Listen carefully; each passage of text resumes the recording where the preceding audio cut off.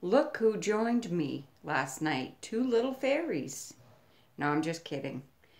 Last night I was getting ready to go to bed and relax because I had a long day of work and try to coupon and get ready for this test that I have to have at the hospital tomorrow. It's going to take three hours. I'm getting a colonoscopy and I can't have no food today, so it's all liquid diet. Um, if you guys pray, some people do. If you pray, can you please pray for me? Um, I had a blood test that came back, and there's no protein going to either my liver or my thyroid. And um, they want me to have that redone really soon.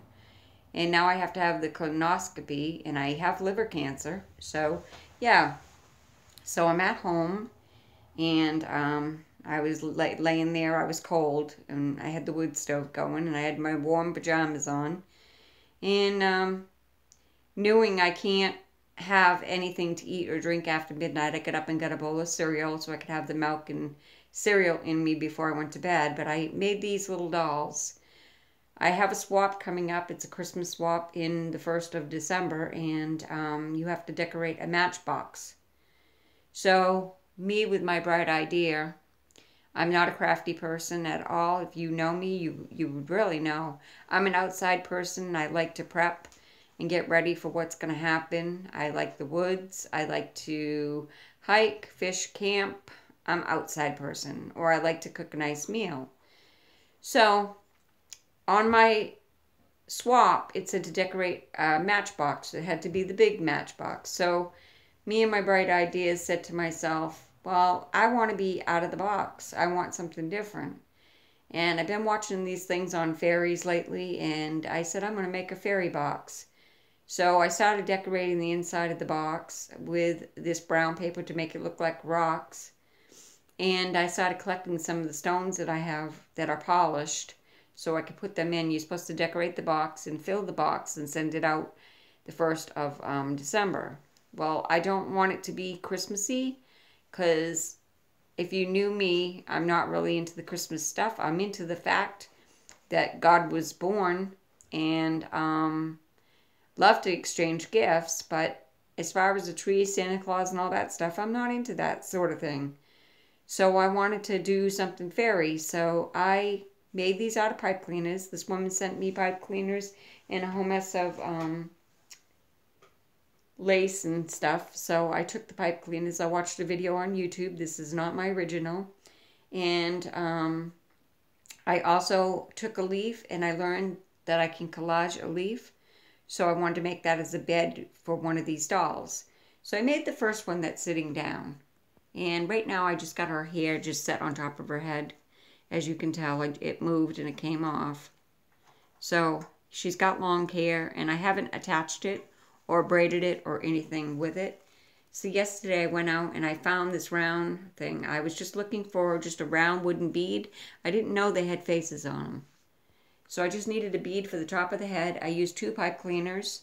Um, I made the arms and the legs from just measuring and, and making the pipe cleaner go the way I wanted to. And then the legs formed and I put the hair on it. There's a video on YouTube how to make an angel doll. So these little skirt is from one flower from the dollar store, took it apart, and there's four little leaves on there. I used embroidery thread to make the color of her arms and her legs and her little bodysuit. See, she's got a little bodysuit. And that's how I made her. Well, I wanted wings. And the wings that I saw, I didn't quite like. So I just took a, another pipe cleaner on this one and I formed the wings. I'm going to try to move her.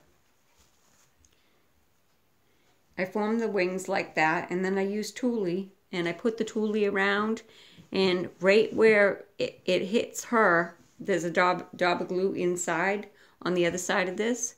So then I took the tulle and I tied it on her waist, as you can see right there it's tied on. So now she's got a set of wings.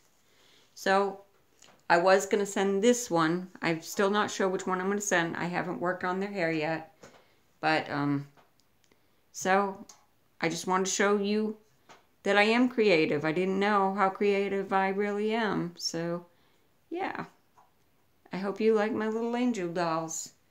I'll probably do a video down the road on how to make these. But um, I'm out of sorts today. I have to go run errands. I have to send a swap for um, a junk journal for Halloween out.